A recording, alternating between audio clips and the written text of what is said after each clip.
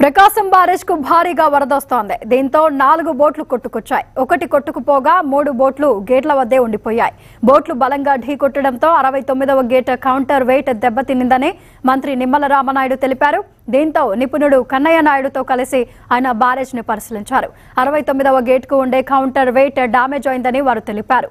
కన్నయ్య నాయుడు ఆధ్వర్యంలో గేటుకు మరమ్మతు పనులు చేపడతామని నిమ్మల వెల్లడించారు. ప్రజలకు ఇబ్బందులు తలెత్తకుండా చూస్తామన్నారు.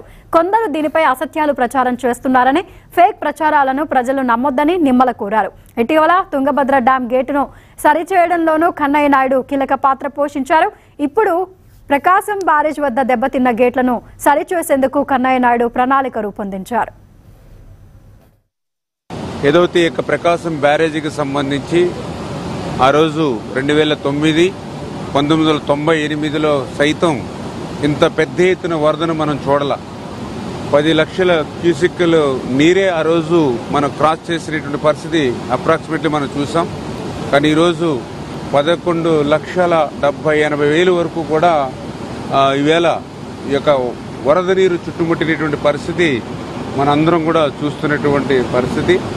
ఈ యొక్క ప్రకాశం బ్యారేజీకి సంబంధించి మరి ఈ ఉన్నటువంటి యొక్క డెబ్బై గేట్లలో పర్టికులర్గా మరి గత రాత్రి ఒక నాలుగు పడవలు వచ్చి అందులో ఒక పడవ కిందకు పోయినా మిగిలిన మూడు పడవలు ఆ గేట్లని తాకినటువంటి పరిస్థితుల్లో అందులో పర్టికులర్గా అరవై తొమ్మిదవ గేటుకు సంబంధించి బలంగా ఏదైతే కౌంటర్ వెయిట్ ఏదైతే గేట్స్ ఉంటుందో దాన్ని తాకడంతో ఆ కౌంటర్ వెయిట్ డ్యామేజ్ అయినటువంటి పరిస్థితి ఉంది.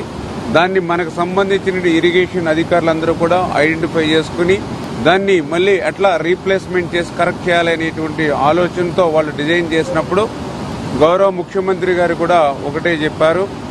వన్ పర్సెంట్ కూడా మనం రిస్క్ అనేది లేకుండా పర్ఫెక్ట్గా చేయాలి.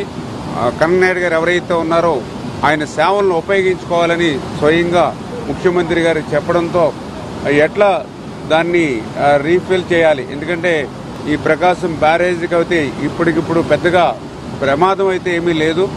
ఎందుకంటే చాలామంది ప్రజల్ని కొద్దిగా భయం రేకెత్తించేటువంటి విధంగా కూడా కొన్ని పేటీఎం కొంతమంది ఫేక్ న్యూస్లు ప్రచారం చేస్తూ ఉన్నారు భయోందోళనకు గురి చేస్తూ ఉన్నారు. ప్రజెంట్ ఇప్పుడు ఇమీడియట్లీ గేట్ దింపడానికి కూడా ఇబ్బంది ఏమీ లేదు. ఇవాళ చంద్రబాబు నాయుడు గారు ఒక క్రైసిస్ మేనేజ్మెంట్లో ఉన్నటువంటి వ్యక్తి మనందరికి కూడా అండగా ఉన్నారు. అందుకే ఇరవై నాలుగు గంటల సమయంలో కేవలం రెండు గంటలు మాత్రమే ఆయన పడుకుని రాత్రులు అర్ధరాత్రులు సైతం ఫీల్డ్ కూడా విజిట్ చేసుకుంటూ ఆయన పడుకోకుండా నీళ్ళు తీయకుండా గేట్లన్నీ మా రీప్లేస్ చేసి ఇచ్చాను ఇక్కడ. అందువల్ల గే- బ్యా- గేట్ల స్ట్రెంగ్త్ బ్యారేజీ కా- పనులు నాకు బాగా తెలుసు. ఇప్పుడు కౌంటర్ వెయిట్ వచ్చి మన బోట్లు అది వర్క్ చేసే బోట్లు కూడా కాదు. వర్క్ చేయకుండా ఎక్కడో మూల ఉన్నాయి కొట్టుకొని వచ్చి మూల డెడ్గా ఉండే పని చేయవి అవి అవి వచ్చి కొట్టిన దానివల్ల కౌంటర్ వెయిట్ పోయింది.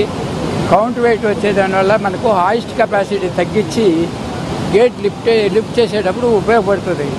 అది లేకుండా మనకు ఇది గేట్ ఆపరేట్ చేయలేము.